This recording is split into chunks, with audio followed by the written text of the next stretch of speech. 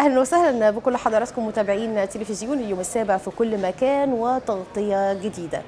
قبل 98 عام ولد نظير جيد واللي كلنا عرفناه باسمه الشهير البابا شنودة. بابا شنودة الأكثر تاثيرا في المنطقة العربية له قصة حياة مليئة بالتفاصيل والنهاردة بنحتفل بذكرى ميلاده بابا شنودة من مواليد الثالث من أغسطس لعام 1923 هو من قرية سلام بمحافظة أسيوط وكان اسمه نظير جيد رفائيل. ماتت والدته قبل أن تراه فكان طفلا وحيدا ولم يكن له أصدقاء أو زملاء.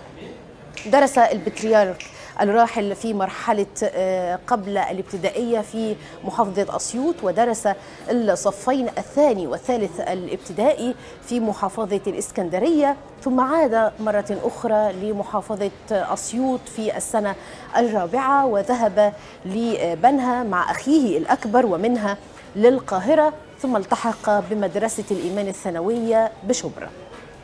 التحق أيضا بجامعة فؤاد.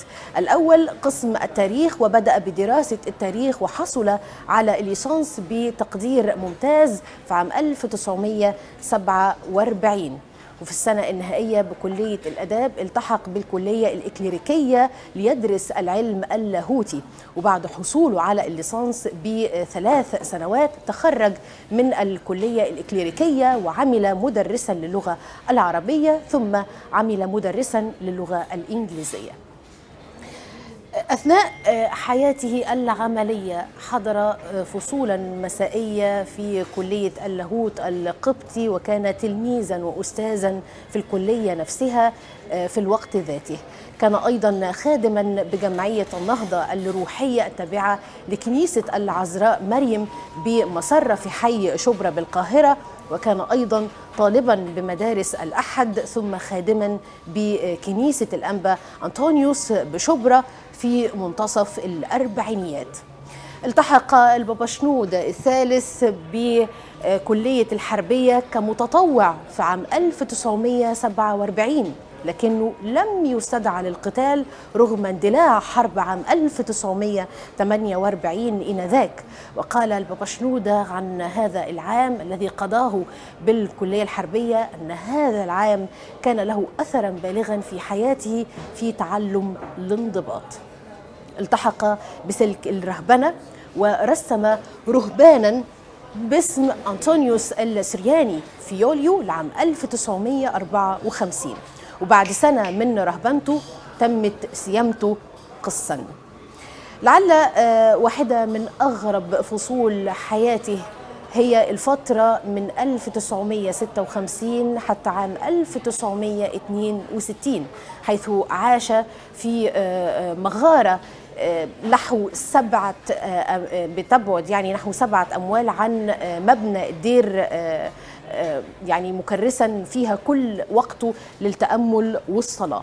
عمل سكرتيرا خاصا للبابا كرولوس السادس في عام 1959 وكان أول أسقف للتعليم المسيحي وذلك في عام 1962 عندما توفي البابا كرولوس السادس في عام 1971 وقتها أجريت انتخابات البابا الجديد وتوج البابا شنودة الثالث في هذا العام.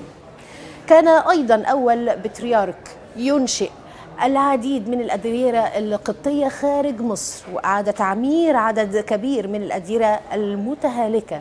امتدت أنشطة البابا شنودة للكتابة في الصحافة وكان أيضا بيكتب في جريدة الأهرام وكان عضوا في نقابة الصحفيين وكتب البابا القصائد الشعرية وكان أيضا يعني محررا لعدة سنوات ثم رئيسا للتحرير في مجلة مدارس الأحد.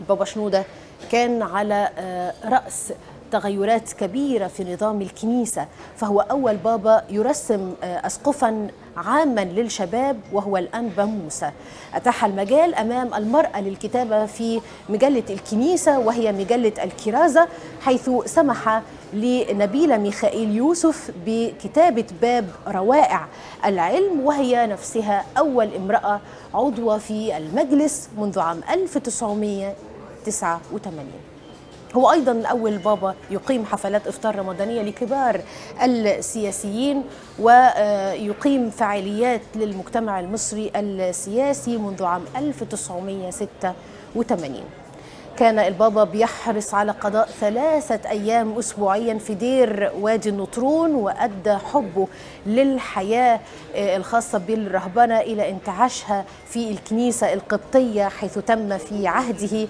رسامة أو تعيين المئات من الرهبان والراهبات.